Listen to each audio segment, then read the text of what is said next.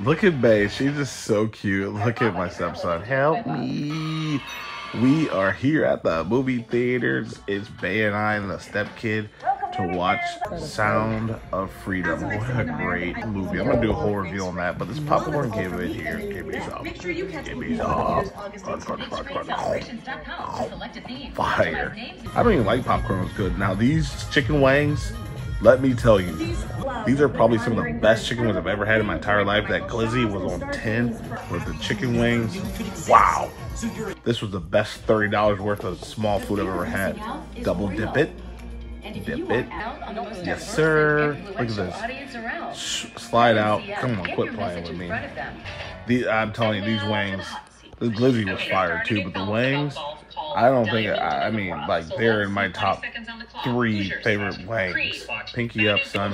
It's your boy Johnny Five Da Grub. Cheers. Peace.